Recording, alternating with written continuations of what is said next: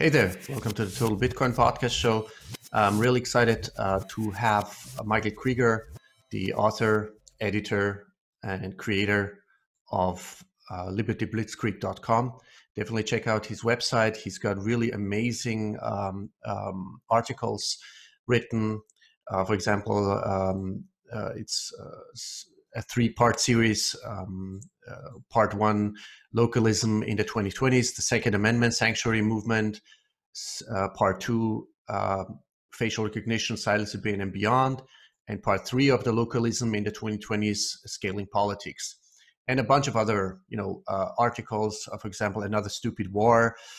Um, so, uh, what I really find fascinating about Michael Krieger is, uh, like many cases I know, uh, is, uh, like very fascinating person because he comes from the financial, you know, big money industry, New York, you know, whatever, Wall Street, uh, uh, Lehman Brothers, you know, oil analyst, equity research. So this is, you can read, you know, his bio for yourself on libertyblitzkrieg.com on the about page.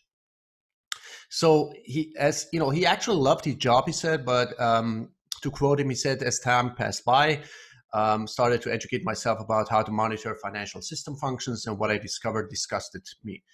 Um, and then he goes on says, um, um, in the years followed, uh, gradually recognized that my true passion centers upon writing on issues of significant societal importance, given the extremely challenging times we live in.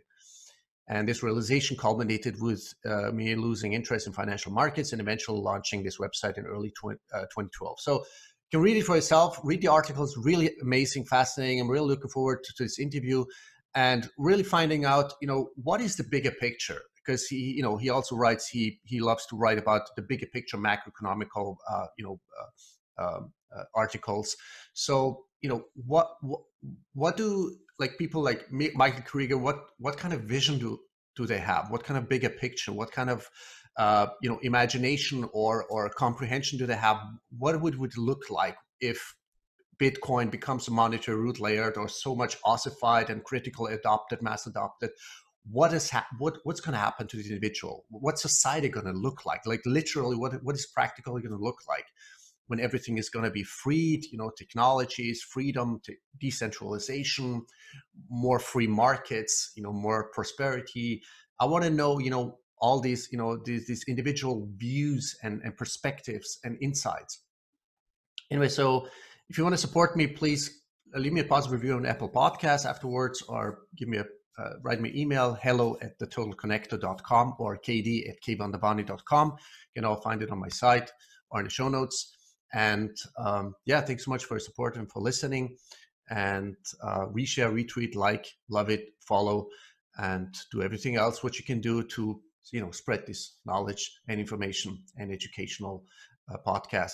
Thank you so much. Without further ado, this is my interview with Michael.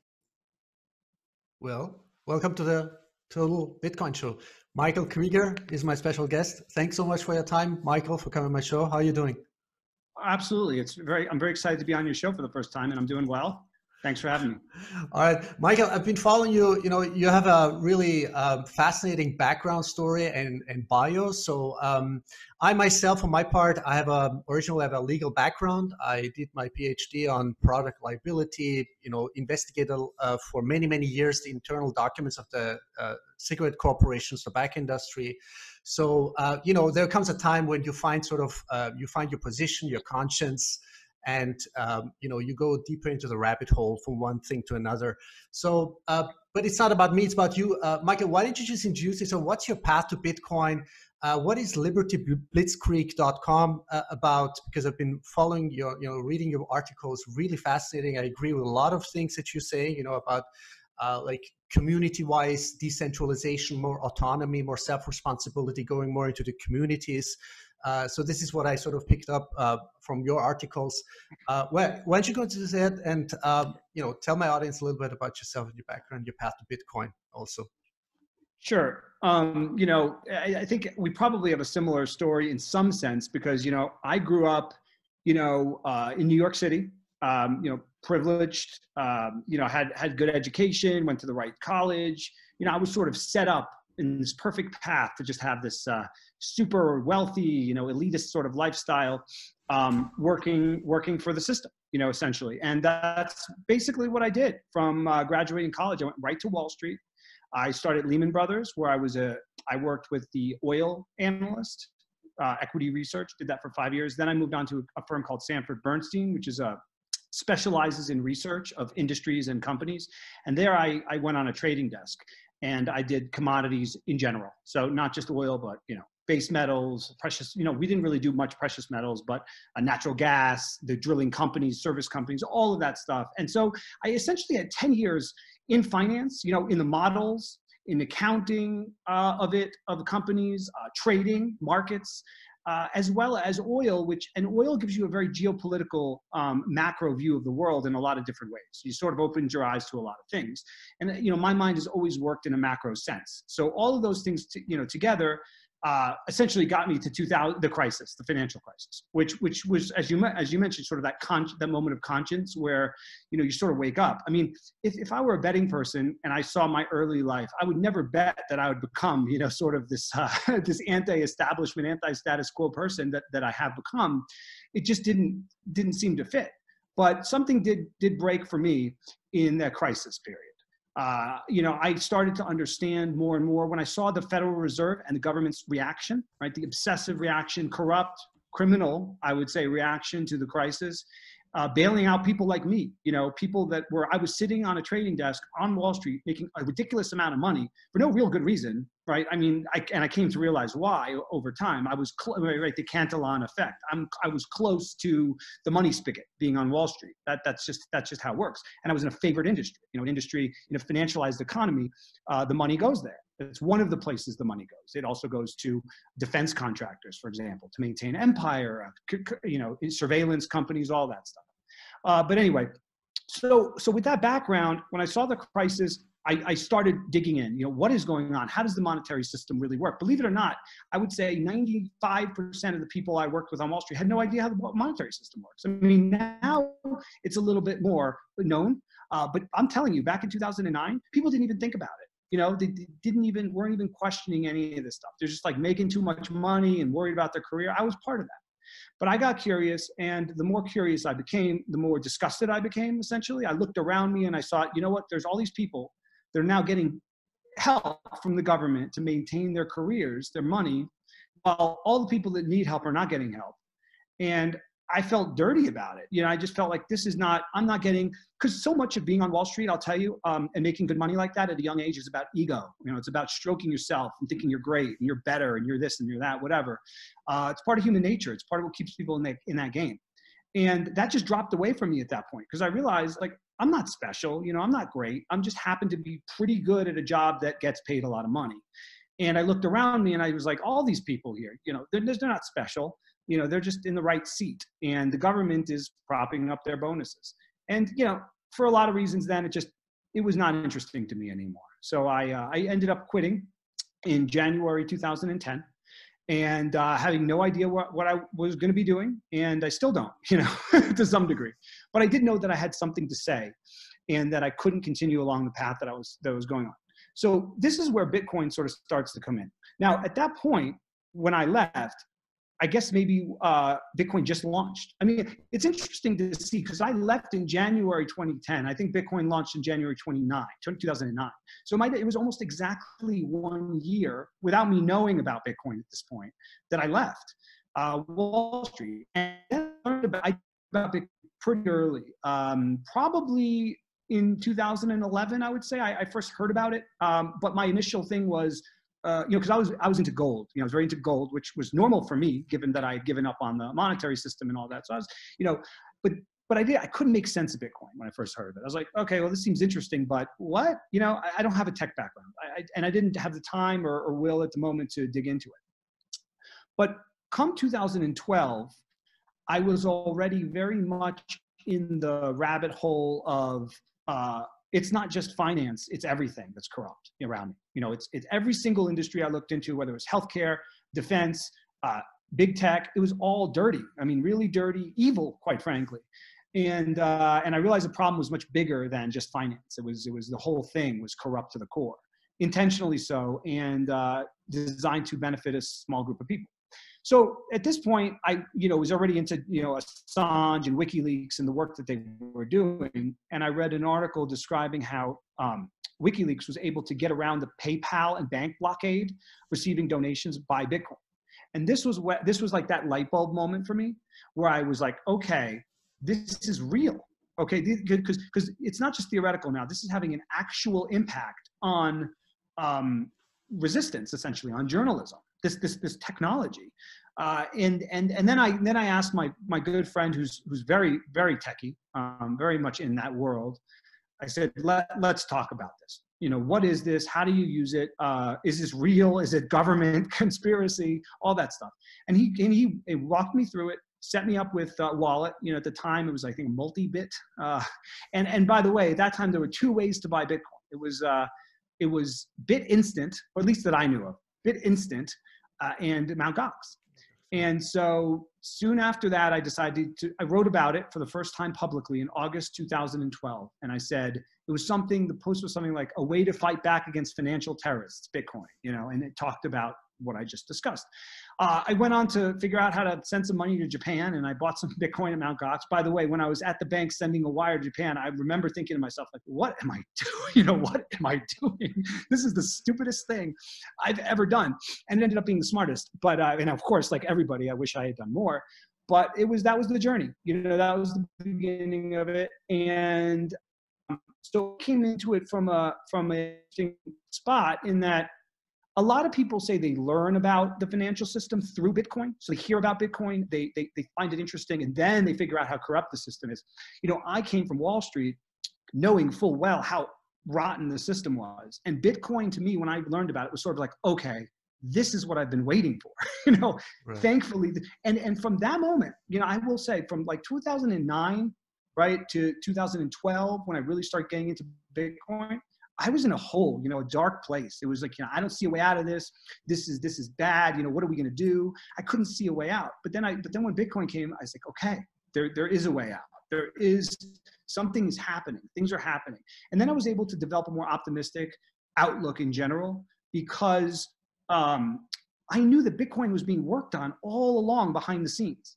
And so if that's the case, there's stuff right now as we're talking being worked on behind the scenes by smart people that know how bad things are. And the good news is people, way more people know how bad things are now than they did 10 years ago. So I'm expecting, you know, in the next 10, 20 years, a lot of new things to come out, not in the realm of cryptocurrency, but in the realm of all sorts of other things that will, I think, change the world after a very rough period. I do think we're entering a, a tricky period, but uh, I'm sort of a medium to long term optimist, but a short term, I'm pretty nervous. Mm-hmm. You know what I find funny because uh, we hear so many stories. Uh, whether now you are uh, a techie or Austrian economist or you know so many genius people out there like Andreas Antonopoulos, Saifedean Ammous, they all brush it away uh, like under you know like like ignored it at first.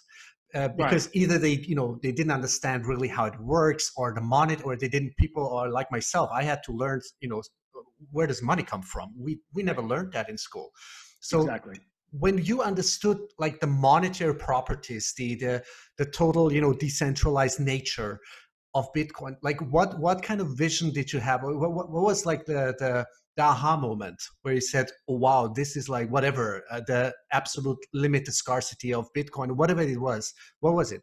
Yeah well okay so so as i as i said you know that first moment was when i saw a practical use case in something i cared about which is journalism right? Wikileaks. So that then i knew it was powerful but then what really, the next thing was when I actually received, because people had said to me, you know, I want to give you Bitcoin, you know, for your work. Let, you know, let take Bitcoin donations, you know, when it was $10. And so I said, okay, let me do this. So then I set up the wallet, as I said, I received some donations.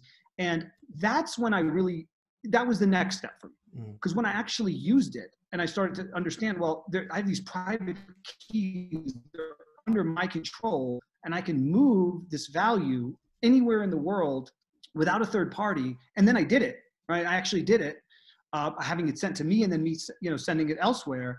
Then I, then it was like, that was the next level. You know, I understood the power of it. That, nobody was doing it for me. You know, no, nobody, I didn't have to, there was no call center, you know, there was no company, Bitcoin company. And so what that did for me was beyond the monetary, right, um, stuff which is important, Bitcoin to me is a teacher uh, beyond Bitcoin, right? It, it teaches us, uh, I think, how we need to think about the world in general going forward. Uh, not just decentralization, but well, decentralization is inherent in this, but but concentrations of power. Mm-hmm. Okay, yeah. the less concentrations of power that exist, the better. And in the case of Bitcoin, when where nobody, right, no company and no CEO or government has the power, is is the best, particularly in something like money. And so I think these lessons can be applied to all sorts of different things. And, you know, as you mentioned recently, I, am in the middle of writing a series on localism right now. I'm, i just published part three, which was more of a political philosophy essay uh, yeah. this past Tuesday. Yeah, it's really um, awesome, the articles, by the way. So it's the three pieces like localism in the 2020s, the Second Amendment sanctuary movement. The second part is facial recognition, psilocybin, and beyond, which I really find fascinating. Uh, mm-hmm. And the, the third part, um, let me just localism in the 2020s, part three, scaling politics. So it's all, you can all read it on libertyblitzkrieg.com, which I think really people should should support your your website and your work, uh, you know, in the background. Um, yeah, I'm sorry to interrupt you, but uh, oh, no I really find it fascinating uh, because it all ties into you know because uh, when I when I ask people like, what is your vision?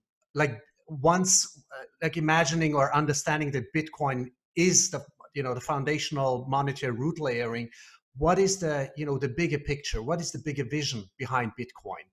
And right. Uh, only few people can really like explain to me what kind of uh, you know uh, consequences positive consequences that can have on every structure we can think of yes yeah exactly so if we're talking about localism when, when people first hear it they think oh you know they think back to let's say like the middle ages or dark ages and you know you have all these fiefdoms and they're fighting constantly and killing each other for land that's not at all how I see it. And it, actually, I'm going to go into this much more in part four, which will deal with voluntary political unions and secession, right? So, exit. How do you exit?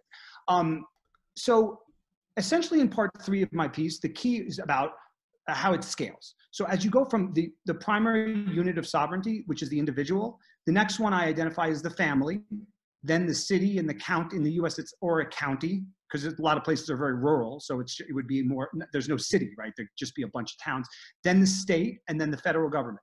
And what I talk about is at each step of the way, you're giving up a little bit of your, your sovereignty, your individual sovereignty.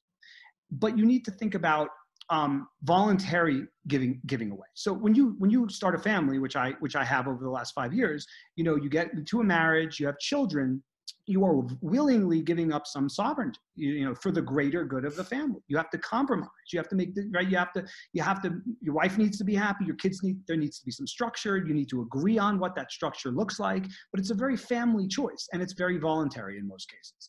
But it is a giving up of your total individual sovereignty. You can't deny that um, and then the next level would be the city or the community. And that's uh, and then you're giving up more. You know you're living with other people in a defined geographic place.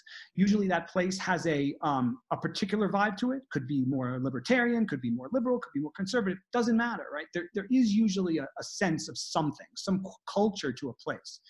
And you you know you you either fit in there or you don't fit in but you still like it you want to live there or you can pretty easily move right within, within a country or even a state here you get up and you can move to another. It happens. People do all the time. So that's a pretty voluntary relationship as well. Once you're an adult, you you know you, if you're if you if you feel like this city isn't it for me, you can pretty much figure out a way to leave. It starts to get harder as you move up to the country level. Okay, how many people really consider giving up their citizenship? But it's it's not that common. It's not that common because it's it's not that easy for a lot of reasons. Language completely different culture uh, just the ability to get let's say a, a, visa or residency or citizenship. It's not that easy. So that's why what i think we need to really dig in on and this isn't necessarily bitcoin related but country level the the provinces or states that make up a country there, there, there, they need to really, there needs to be a way, a constant way. I think constant referendums, sort of like what you saw in, in, in the UK, Scotland even had theirs. Catalonia wants to have one. That should be a, that should not be sort of an exception. It should not be radical. it should be part of the human experience. It should constantly happen. Catalonia should be voting on whether they want to be a part of Spain every 20 years or something, right? And and the, and the point here isn't to break up the states, but I believe by having that threat, it will keep the states, the, the, the, the central government under control because they know yeah. every 20 years, right? So that's what I'm going to go into. But, but in a sense, it is Bitcoin related because it's, it is focused on decentralized units of governance, right? Based on a voluntary principle. But it also, with the, the power of Bitcoin is it is a global thing.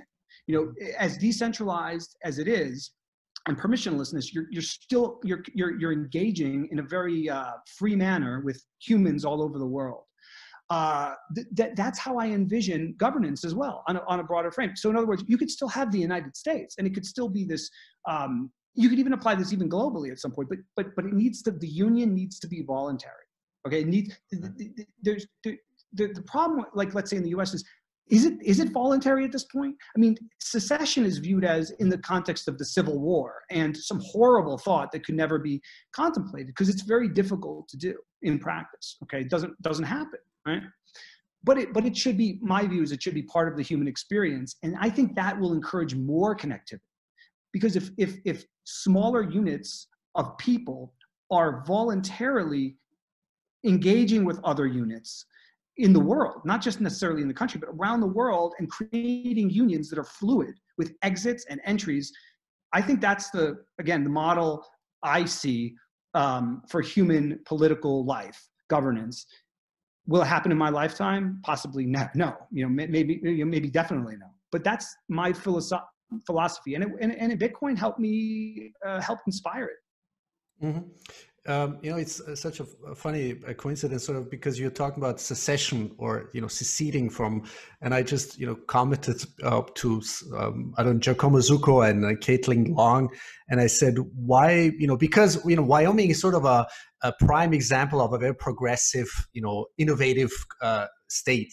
Uh, with all their so-called whatever you want to call it crypto laws and and bitcoin pro bitcoin laws and and and and decentralization. So I, you know, so as you said, you know, it shouldn't be the exception; it should be actually part of the human experience, as you say correctly. Uh, and why, you know, I said not even jokingly, why why shouldn't uh, Wyoming be able or be allowed to secede from, you know, this whatever artificially created nation state? Because I'm I'm not a believer in nation states. I'm not a believer in governments, and I definitely, you know, find the the the structure and the uh, you know the whole um, uh, everything is going on with the central banks totally criminal but uh, it's it's sort of a pink elephant which uh, i'm not sure how, how deep can you talk about uh, this whole bigger picture of nation states governments and central banks yeah so i think um, I think the, the, the, proper, I'm going to try, I'm going to try to do this in part four. It's difficult again, because what I said with the history of the United States,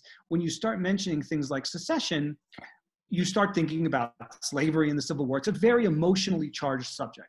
So, so for me, I want to I want to take it in a different direction, you know, and and and not just for the U.S. And by the way, like I agree with you on on nation states. However, um, let's say municipal right if, if at the municipal level that's where i believe and by the way there's this there's a, there's a great book and this guy is like a, an anarchist or even very much a leftist kind of guy and i disagree with him on big time on a lot of issues but the, it's his name is murray bookchin he's no he's passed away but he wrote a book uh, or a book of his essays called the next revolution I wrote an article about this book. If anyone wants to look at it, uh, it's his essays, and he writes all about this, the history of, of you know revolutionary movements and, and this and that. And it's very interesting.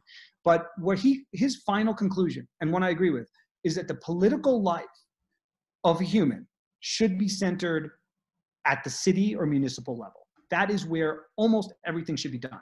And it's like this quote I, I put in my last piece, like uh, Chester, Chesterton quote, um, keep, keep, keep the politicians close enough so that you can kick them. And I think that's, that's the idea here. Um, you're, you're, you're, that's where, that's the most ethical, there's, there's, it's easy to exit out of a city and and in a city is where you know your local issues best you know how to deal with things and you know how to make the people happy there and you can leave quite easily um, so but from that point, right, I just believe it's part of the human nature to expand relationships. It's just what happens. So we should accept that, right? Like th- this idea that that's going to go away, I think is unrealistic. So, so, so then the question is, how do we scale political relationships in a in an ethical and human manner, right? That, that doesn't lose sight of the the core unit, municipal, family, individual. And my my feeling is that those cities essentially um, or counties then can engage in voluntary unions with other places um, but there's always a way to get out. They're not, that's the thing. It's like with Spain, right? The Spanish government, their argument against Catalonia was Spain is eternal, right? The, the, Constitution says the, this country will be, you know, consist of Galicia, Catalonia, Andalusia, right? Uh, Extremadura forever, right? For the end of time. It's preposterous. And the only thing that that does is it creates a tension where the government, the central state is saying, you are here, and if you want to get out of here, you must be violent. It's a crazy choice. And if you look at any country in the world, it's, it's pretty much that way. Um, think about how hard it was for Great Britain to leave the EU, something that's like 20 years old. And it was so difficult, right? Imagine breaking up like Spain or, or, or even, even talking about it.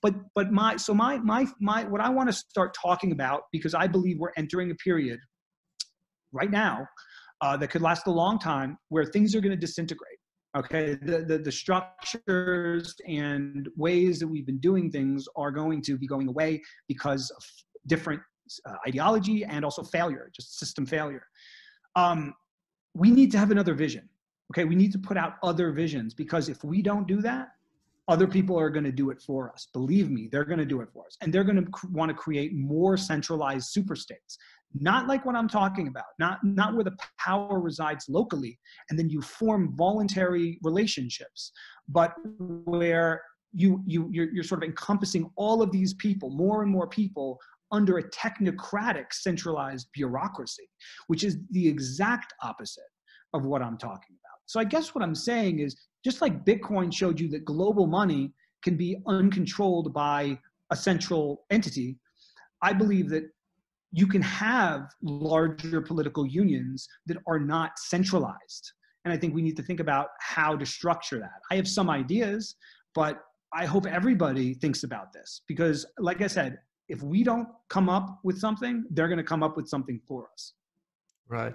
No, totally with you on that, Mike. Uh, would you say transition is the key?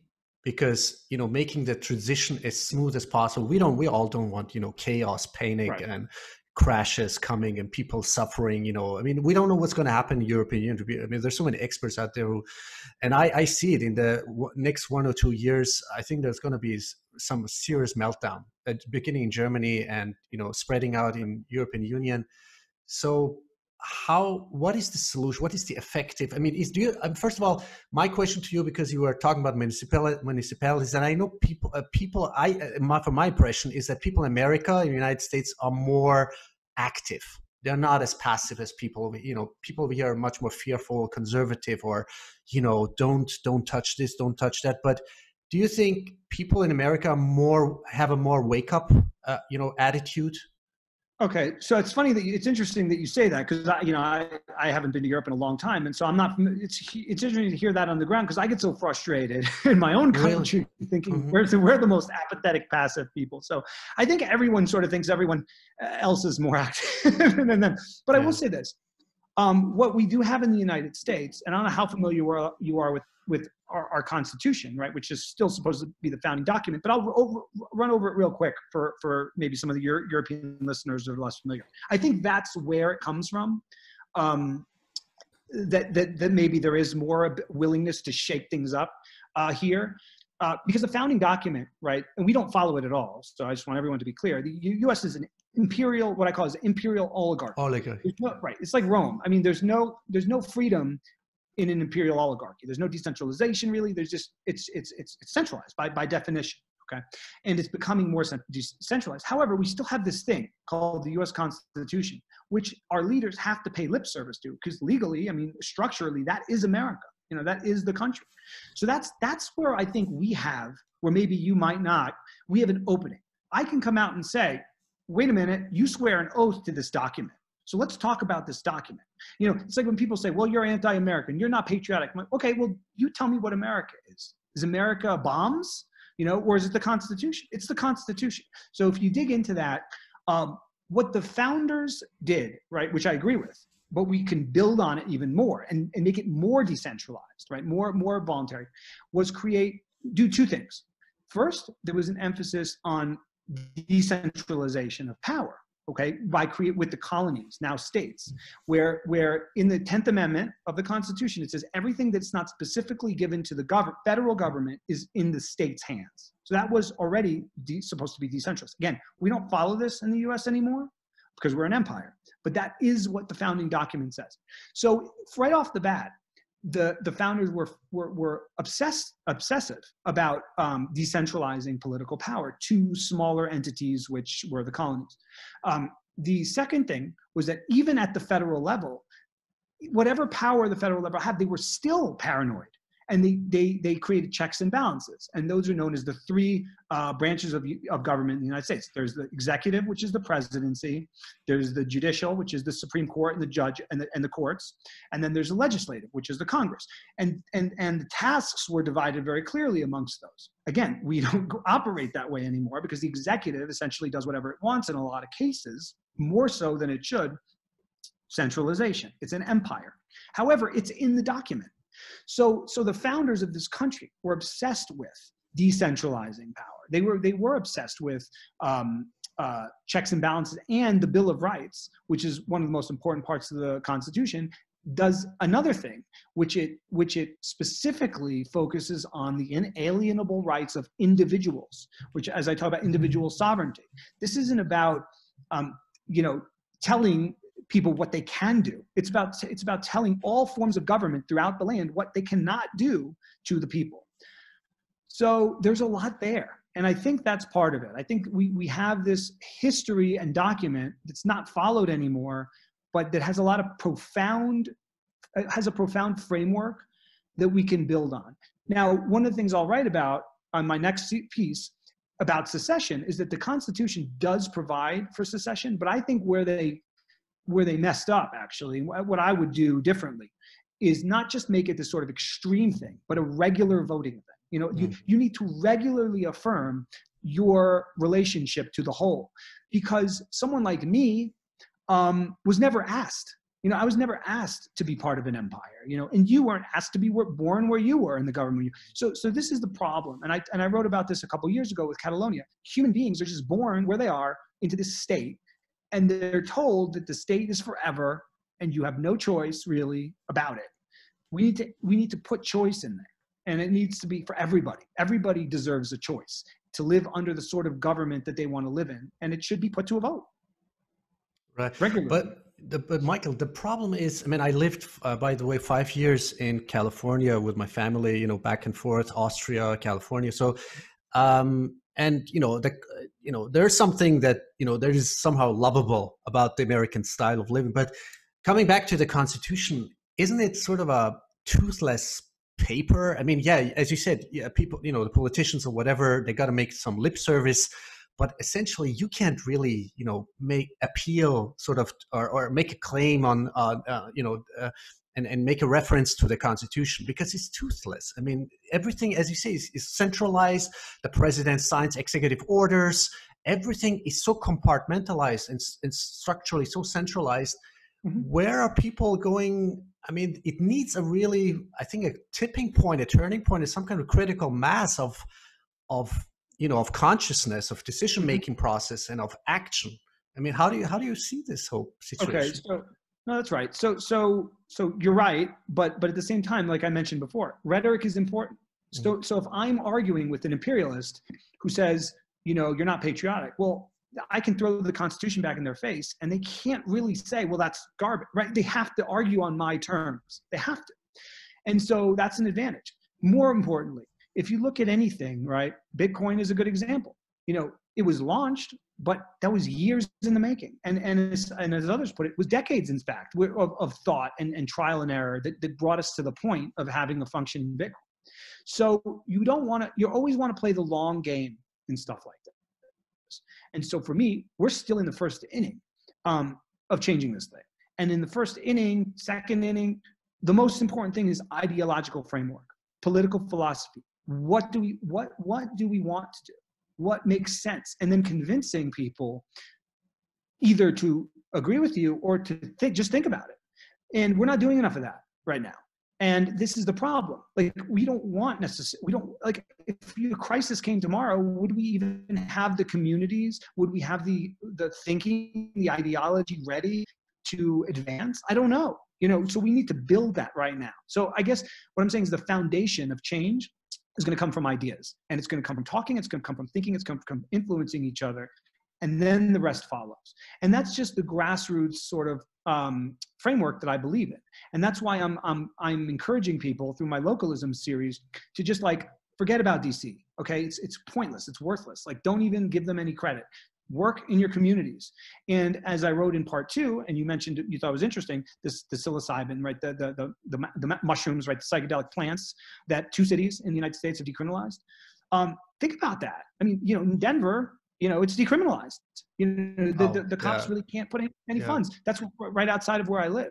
That's yeah. a big deal. Okay. Washington D.C. is not doing anything about that. Okay. So so you can have a big impact. Even where I live, Colorado was the first state in the country to legalize res, uh, recreational mar- uh, cannabis. now it's everywhere. You know, it's all across the country, and and Washington D.C. didn't do anything to make that happen. You know, they were probably pretty they were pretty upset for a while, and people thought that they were going to crack down, but they didn't because it's the will of the people at the grassroots. I right. can't emphasize that enough. Like if you build the movements um, and the ideology at the grassroots, and they're, they're strongest that way, because you're not begging some politician. You're not calling your representative. That is you being a slave, essentially. They're not gonna, they don't care. so, so to me, work, do it. Mix it up at the local level. Take some action. At, at the end of the day, you know, if enough people decide enough, you know, I'm not, I'm not doing, I'm not going to go along with this anymore. Right. The politicians will, will, will, will, will cower in fear and wet themselves. That's what happens. Really, it is. Um, they're, they're just, they're just, they're just, they're just corrupt cowards at the end of the day. Mm. And um, I think that, as you mentioned, apathy. Yeah. I mean, there's apathy everywhere. So, you know, until that stops, you know we're going to be we're going to we're going to get the kind of government we deserve we're going to get the kind of treatment that we that we're going we're going to get um, you know, some people, someone said to me this the other day, they're like, well, when are we going to just like, you know, stand up and revolt? And it's like, okay, well, what do you mean by revolt? You really think like taking guns and it's, it's the stupidest thing. I mean, yes, like if you, if someone's coming to your home and you need to defend yourself, whatever, okay. But we haven't tried anything yet uh, that we can do. I mean, where's the big boycott movement of, of big companies, let's say, you know what I mean? Like Facebook is, is, is a, clear and present, pernicious, disgusting force in the world. And you know, you hear quit Facebook, but I mean, I deleted Facebook. Who, you know, nobody, mm-hmm. you know, most people didn't. So again, we're just we're not serious yet. You know, some of us are serious, but most people aren't serious. And um, you mentioned consciousness. So I don't know if you read this series. It's probably my favorite series I've ever written. It's on spiral dynamics. Are you familiar with spiral dynamics? No, no. What's that? You'd probably you'd probably like it. So it's it's a theory of the evolution of consciousness. Um, it's been around since the 70s, and it's the idea that consciousness actually can evolve within humans. Um, it's not something you can make happen, sort of something that just sort of happens for whatever reason. And there are different sort of levels of, of this. Um, and one of the guys who's big in this is this guy Ken Wilber, and you know he his theory has been that once there's first tier thinking and second tier thinking. I'm not going to get all into it because it's going to confuse everybody, but you should read the series. Just go to my website and, and, and type in Spiral Dynamics, five part series. Um, he thinks that once 10% of the world population is is on the second tier of thinking, that the whole world will essentially change. And that and that's I think we agree on that. I mean, you, you, you know, you can create all the structures you want you can say all the things you want but until people are actually ready and understand and have a different outlook um, the, the people aren't obsessed with with controlling other people. People aren't obsessed with just getting everything they can just for themselves. Uh, until until people not get get get in their own heads change not not you know it's it's harder to change yourself than it is to complain about other people but most people just want to complain about other people. Right. So until we get to that other point where people are more focused on on themselves and they realize, hey, by the way, I interact with 20 people in a day. if my interactions with those 20 people are really nice, extra nice, does that affect the world? My, my answer is it does affect the world. Um, but people don't think that way. Most people don't think that way. Um, then the world will, can change. So, so it's it's a it's a combination of a lot of things from my perspective. Technology is huge. Bitcoin tools that allow us to express ourselves in a more conscious way is hugely important, and that's why Bitcoin is such an important thing to me. I structures and ideas, political philosophy, as I'm getting into, important as well. But all of this fails unless we are more conscious as people. As, until the human race is becomes more conscious we're going to keep making the same mistakes over and over and over. So yeah, that's important. But look, the problem with that is, you know, that's we can only change ourselves. You know, we can only work on ourselves. You can't make someone else more conscious. It's not possible. Yeah, no, um, Michael, you, yeah, you, I'm totally with you, and uh, because it's uh, consciousness. I mean, for me, it's a multi-conditional um, a multi uh, fact, fact, sort of fa- factor uh, um, uh, uh, thing. Um, there's a lot of factors and parameters and conditions, uh, and and of course I understand you know experience, pain points, suffering, and and be becoming creative. And I, I think a lot of people, especially children, have not really or have dislearned or how do you call it like have forgotten how to question things how to mm-hmm. you know ask things be, be more curious like keeping this inner childish or childlike um, mm-hmm. you know attitude so i think it's really multifaceted but i find it fascinating your approach because you know also with psilocybin i think uh, to be honest with you i mean uh, i i do think the people who are ready they do they do uh, take the shortcut to you know uh, confront themselves with their own fears and and misunderstandings and it's all about comprehension so to tie this in again and to wrap this up with bitcoin what um, what would need to happen do you think first of all is is the critical mass in the next 10 years ready to adopt bitcoin or, or do you think some things need to happen like uh, people need to experience like people in venezuela iran or argentina you know what i'm saying like do yeah. people do people need pain points in order to uh, accelerate this process of, of of whatever critical adoption and and and really building new structures on this new right. monetary ruling yeah, it's a good it's a good question. So, I mean, I think a lot of it has to do with generations. Um, and and and from what I see, you know, I'm I'm like by the definitions of de- generations, whether you put any stock into that or not, I'm like very late Gen X or maybe almost cusp of a millennial, but really Gen X, late Gen X. Um, but I see for younger people, you know, my wife is, is young, quite a bit younger than me, and she's a millennial, and I, I'm, I'm friends with a lot of people like 10 years younger than me uh, I see what you know the environment that they went into versus the environment that I went into. You know, I was sort of like at that last last gasp where you know there was an ability to come get in there and do pretty well for yourself. And uh, you know th- that generation just got completely messed up. And uh, the way the bailouts were handed, handled the criminal and corrupt way they were handled you know essentially just bailed out people that were wealthy already and older and had assets. And uh, you know and so you know, I see Bitcoin in the context of that as well. And I think that's actually one of the things that protects it um, the most. You know, uh, particularly those people who I think are short-sighted and they're like, "Whoa, the government's just going to outlaw it or ban it or whatever." You know, you're facing uh, a an entire generation that feels that they've been completely shafted. And for like the boomers, because that's essentially who would be doing it, right? The, the banning of Bitcoin or whatever they might, whatever silliness they might try, it would be seen in that context and that's going to make their job a lot harder so i do i do believe that in in in in, in a lot of ways um, a tailwind that bitcoin has going forward in the years ahead is this is this fact that you've got an entire generation that feels completely stuck trapped and cheated. And a lot of them the smart a lot of the smartest people from that generation have adopted bitcoin um, in a completely rational manner. I mean not not just because uh, they believe in the principles. In some cases it's as simple as you know what? This is my rebellion. You know this is my way of saying i don't want your system. This is a better system and i might make some money off of it so i think that's going to play an, an, important role going forward. I do think though that um, the macro environment that we're going into is going to be a huge tailwind as well. You know we're, we, we are you see what central banks are doing. You, you, you know look at look at what they've already done to bonds. I mean you're at the point where you know when you have an entire gigantic, the biggest financial asset class in the world, bonds, you know, so many of them trading at negative yields or, I mean, you're starting to get to the point where you have nowhere, you know, people are going to look around and say like, I have nowhere else to go. Where am I going to go? And I think Bitcoin is going to be one of those answers. But beyond that, um, just the just the reality of you know failing governments uh, trying to you know restrict people from using money in the way they want to use it. Bitcoin's use case is only going to go up um, in the years ahead. So I think that uh, it's a lot of things together, but I think I think mostly, I mean, the, the biggest driver is going to be circumstances of of Bitcoin appreciate uh, appreciation. You know,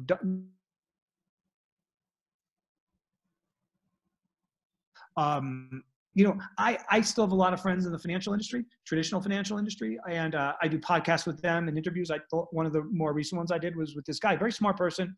He gets everything. He's heard about Bitcoin forever. It aligns with his philosophy, but but he just never pulled the trigger. And then I did a podcast with him, and he said, "You know what? I, I I'm in now. You know, I'm I'm gonna I'm gonna put a little bit in, not you know one percent or whatever of his assets, but I convinced him. You know, but what's what's interesting to me about that was." There's still so much low hanging fruit of people to come around. Um, and for whatever reason, a lot of people, particularly in the, in the traditional finance industry, even those that agree in principle with a lot of Bitcoiners, just can't do it. You know, they can't do it, or they don't get it enough, right? I mean, this guy didn't even know about the, ha- you know, he didn't know about the halving it, ha- halving or anything like that. It's important, but that's the thing. You know, people people in Bitcoin need to realize that most people have no idea. You know what i mean? Like what it is how it works why it's important.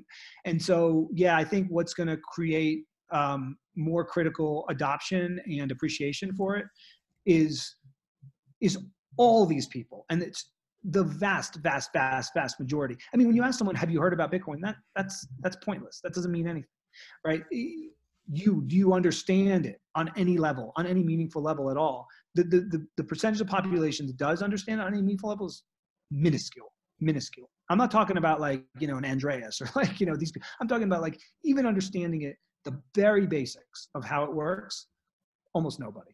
So uh, there's a lot of low hanging fruit there. And I think it's going to be picked in the years ahead.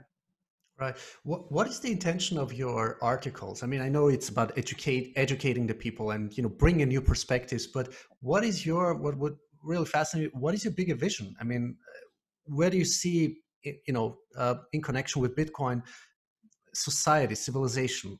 I mean yeah. Yeah. So so for me um what first started it was i felt like first of all i was in a position to to not worry about um, money that much. After i left wall street i was completely single. I, I had a bunch of savings. I moved from new york very expensive to far cheaper place colorado and you know i said okay I'm going to give, I'm going to give back a little bit here. You know, uh, my, my, my goal is essentially like, I, I worked in this industry for 10 years. You know, I, I have knowledge, mm-hmm. right? I have a perspective that I think is valuable and important. Right. I, and I'm going to, and I'm to put it out there and people, you know, enjoyed it. And, um, and I, fact, you know, I've affected some people's lives, you know, in meaningful ways that they've told me. And since then it's, it's, I, I take it every day, one step at a time you know, is this what I still want to be doing? Can I keep this? Does it make sense? Am I having an impact? Am I growing as a person? All, all of these things. I mean, if you look back to my writing from 10 years ago versus now, very different, you know, uh, even with my blog, how I've done things. So I'm changing as a person. I'm evolving. I'm learning. I mean, I love what I do, even though it's, you know, you don't make much money off of it. Um, because every day I'm learning, you know, and, and every day I'm giving in some way uh, without expecting anything in return. And you know that's that's actually pretty powerful and it feels pretty good because one of the things um that try i try to guide my life by is don't get attached right and this isn't my you know this is like eastern philosophy you know 101 but don't get attached to the outcome you know don't don't it's not about winning you know it's not about um, getting what you want you know getting in, in your lifetime even. and having children makes you have this perspective as well. You know it's like you're giving for them you know without expecting something from them in return. I mean some parents do or they're like you need to be this you, but not for me. You know for me it's like i want my children i'm like a guide to them. I want them to be the best that they can be. And so that's really just what i do. I don't i don't have um if i if i affect people if i impact the world on some level eventually great if I don't, that's fine too. Because mm-hmm. you know, I I feel like I have a lot I want to get off my chest. I feel like I have stuff to say, And as long as there are people that want to hear it and find it useful, I'm going to try to do it.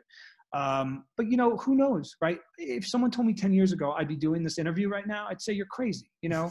Uh, but so, so in 10 years, who knows what I'm going to be doing? I have no idea. I'm not making anybody any promises. I'm just living my life, trying to, trying to figure things out and be a better person and, you know, add value where I can add value without expecting anything in return. And, uh, and it's been nice you know it's, it's it's not always perfect you know and i could be making a fortune right now if i mm. stayed uh, on Wall Street, but I would be less happy um, for sure. And uh, you know, I discovered a lot of things I didn't know growing up in New York City that I like. I, you know, I, I was very disconnected from nature growing up in Manhattan. You know, you don't you, if you've ever been there, you know what it's like. Yeah. Uh, you know, you can't see besides the, the, Central Park. Besides the Central yeah, Park. right, right, exactly. But it's a you know, which is beautiful, but it's a very manufactured green space. Right. Um, you know, now I'm in the mountain, you know, right on the foothills of the mountains. You know, bear, a bear was in my backyard three years ago. you know what I mean? I love that. And uh, I gardening is, is become a huge passion for me. I love love gardening. It's uh, as much as writing. I love it. I love being a father. So uh, I don't have this like um, exalted expectation of what my life is going to to impact. It's uh, I'm just I'm just doing what I feel like feels right um, and it's and I and it gives me a lot of satisfaction. Yeah, Michael, thank you so much for your time. I really appreciate your work. I think you're you know great contribute you know contribution to to uh, what do what do we call it evolution right i mean because i always say we don't have time for revolutions it's right. really time for evolution because we really to really uh, uh, i don't know process uh, a lot of things but but um, uh, have a new way of thinking and and perspective and and yes. you know, build new structures. And and i eventually uh, that's my hope you know a lot of things that have been suppressed will come to the surface mm-hmm. especially positive ones technologies you know like serving humanity. So eventually this is where i see bitcoin. This is why i'm asking you this you know what is your vision? And uh, besides you know the monetary economic financial structure you know what is beyond bitcoin? What what is what happens when bitcoin really is rooted into the structure of our civilization?